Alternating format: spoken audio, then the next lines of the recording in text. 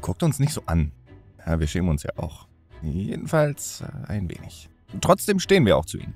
Zu unseren Guilty Pleasures. Manchmal sind Games eben nicht das, womit man seine Freunde beeindruckt, sondern eher deren Augenbrauen gen Himmel steigen lässt. Willkommen zu unserer Liste der Schmach, für die wir uns schämen und gleichzeitig überhaupt nicht. Seid doch ehrlich, ihr habt auch eure Guilty Pleasures. Ganze Games oder bestimmte Features, Charaktere oder sogar einfach nur Spielmechaniken.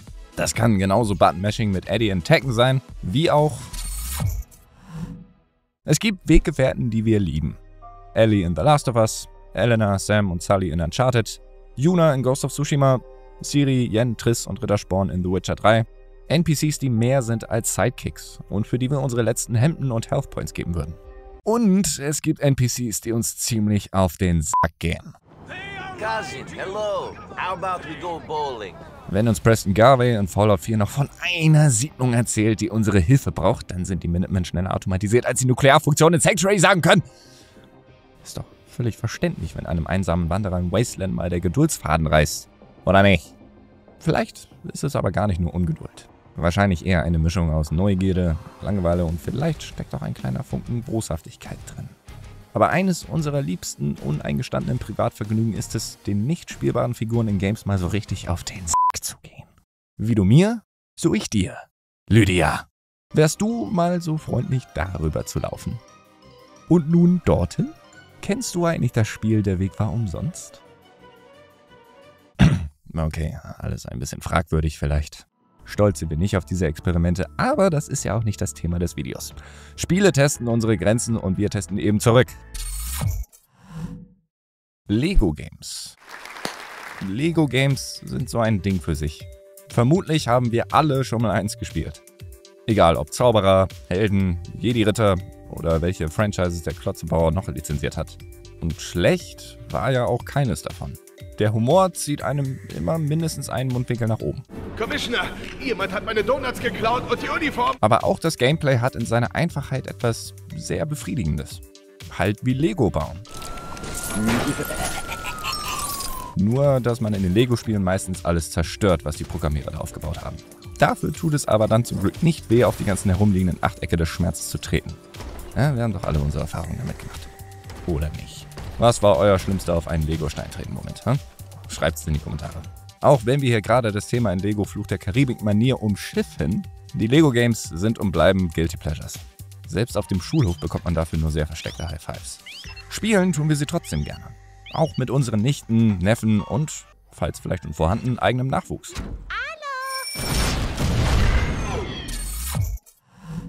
Oh, sieh dir diese Faulbienen an. Sie hören nie auf zu tratschen. Wir lieben Videospiele für ihre Vielfalt. Dazu gehört im Besonderen, in andere Rollen schlüpfen zu können. Und genau davon sind Simulatoren die Essenz. Pilot, Landwirt, Ziege, Biene, Toastbrot. Okay, wir haben alle schnell gemerkt, in welche Richtung der Trend geht. Je absurder, desto besser. Maximaler Fun, minimaler Realismus. Minimaler Realismus, maximaler Fun. Aber genau hier beginnt der Guilty Pleasure Spaß. Natürlich macht es Bock, im Search Simulator komplett Riot zu gehen. Aber habt ihr schon mal einen Simulator ernsthaft gespielt? Also nichts mit Zeitbeschleunigen oder Autopilot. Alles wie im echten Leben. Wenn das Adrenalin bei der Frage steigt, ob ihr den letzten Ölwechsel vom Trecker vor 12 oder 13 Monaten gemacht habt. Hier geht es nicht mehr um Trophies oder Highscores. Hier regiert Michael Fassbender, der nach Perfektion fragt. Schwierig wird es aber, wenn die Buddies fragen, was man gerade so macht und man ernsthaft mit die Route 66 in Echtzeit fahren antwortet. Ja, aber was sollen wir sagen? Die Holzlieferung fährt sich halt auch nicht von alleine. Es ist die größte anzunehmende Katastrophe. Der Kardinalfehler. Ein Fauxpas nuklearen Ausmaßes.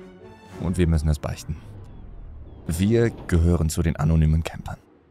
Und ja, es geht dabei ausdrücklich nicht um Zeltplätze oder Wohnwagensiedlungen. Und es geht auch nicht um die Perfektionierung und das Abfeiern von Kitsch à la John Woo, Nicolas Cage oder George Lucas. Dann sind wir doch mal ehrlich. Irgendwann erwischt es jeden. Spätestens nach dem 13. Spawnkill ist es vorbei mit Zen und der Zaun ist nicht mehr zu zügeln.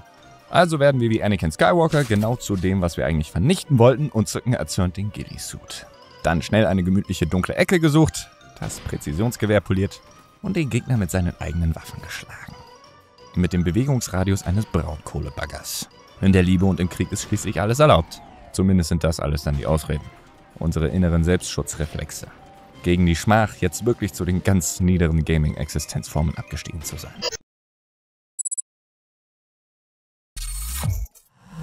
Ja, ganz im Ernst. Man muss sich nicht als Naruto, Sanji oder Jojo verkleiden oder wie die Kerle posen, um JRPGs zu mögen. Man muss aber erstmal durch eine sehr verquere und sehr kawaii Nebelwand stiefeln. So ehrlich müssen wir sein. Aber so wie man bei Souls Games nicht weiß, was hinter dem Nebel wartet, weiß man auch bei JRPGs nicht, was man verpasst. Wir mögen auf keinen Fall jedes Game, das in diese Kategorie fällt. Es gibt aber einige Perlen. Die offensichtlichste ist vermutlich Final Fantasy VII Remake. Grafisch macht der Neuauflage kaum ein anderes Spiel etwas vor. In Sachen Kämpfen und Abwechslungsreichtum der Kapitel ist es auch ganz oben dabei. Das ewige Three-Point-Landing und Charaktere, von denen man einen Zuckerschock nach dem anderen bekommt, weil alles so süß ist, muss man mögen. Oder mögen lernen. Aber nicht alle JRPGs sind Final Fantasy. Persona hat nicht umsonst zig Teile, Spin-offs und und und. Und vor allem kommt das Spiel ohne übertriebene Cuteness aus. Die Charaktere sind cool und abwechslungsreich. Die Synchro ist der Oberhammer. Uh, in, you know? Und gerade die verschiedenen Teile von Tokio zu erkunden macht mega Spaß. Trotz all dieser Pro-Punkte sind wir aber sehr vorsichtig geworden, wenn es darum geht, JRPGs zu empfehlen. Und dann hat uns die sprechende Katze per App in die Schattenwelt geschickt. Klingt im ersten Moment einfach nicht ganz so cool. Trotzdem lieben wir unsere kleinen und großen Kulturexkurse. Wenn auch heimlich. Gerade haben wir noch von unserem riesigen Stapel voller Games erzählt, die nur an oder ganz ungespielt darauf warten, bis zur PS5 endlich noch abgearbeitet zu werden. Wer übrigens vergleichen oder sich inspirieren lassen will, klickt auf die bekannte Box oben rechts. Es gibt da aber, außer jeder Menge alter und neuer unangetasteter Spiele, noch ein Problem und das nennt sich neudeutsch Comfort Binge. Ihr kennt das Phänomen alle. Statt eine von den zigtausend neuen Serien anzuschauen, gibt es nach ewigem Rumscrollen durch die Watchlist doch nur eine Lösung. Am Ende wird eben doch lieber zum zillionsten Mal der Klassiker aus den persönlichen Favoriten geguckt, als alles andere. Und so ist es mit Games eben manchmal auch. Nein, sorry, leider hatten wir noch keine Zeit für einen neuen Battle Royale Shooter. Schade, schade. Stattdessen stellen wir unser Profil heimlich auf Offline und fangen zum 27. Mal The Witcher 3 an. Das hat eben was Beruhigendes und Vertrautes und bleibt gleichzeitig immer abwechslungsreich. Und das muss man ja als Entwickler auch erstmal schaffen. Wie das wohl erstmal mit Cyberpunk 2077 wird. Guilty Pleasure ist ein Begriff mit verschwommenen Rändern. Deswegen sind wir uns bei diesem Punkt auch nicht ganz sicher, ob das jetzt noch was mit heimlichem Privatvergnügen oder eher mit unserem ganz persönlichen Charakterbaustein zu tun hat. Aber vielleicht könnt ihr uns ja da weiterhelfen. Wie würdet ihr es denn nennen, wenn jemand, also nicht unbedingt wir, aber wenn ein Freund von uns, für den wir fragen, nach jeder Session vor der PlayStation erstmal den DualShock sauber macht? Besonders die Gäste-Controller. Und wenn jemand, also wirklich nicht wir, aber zum Beispiel ein Freund von euch, wenn also jemand nach dem Durchzocken direkt wieder jeden möglichen Gigabyte freimacht und alles deinstalliert, was nicht unbedingt gebraucht wird. Wenn das Ingame-Inventar strenger verwaltet wird als der Index Librorum Prohibitorum oder der Sportalmanach. Aber Ordnung fühlt sich eben auch einfach gut an, oder? Gibt es was Besseres als Dinge an ihrem Platz? Please see yourself out. I'd like to drown myself in work. Ihr seid gefragt. Zu welchen geheimen oder nicht ganz geheimen Gaming-Ticks und zwielichtigen Spielen bekennt ihr euch? Für Abos, Likes und Glocken muss ich außerdem niemand schämen. Bleibt wie ihr seid, eure Insider vergeben euch jetzt schon.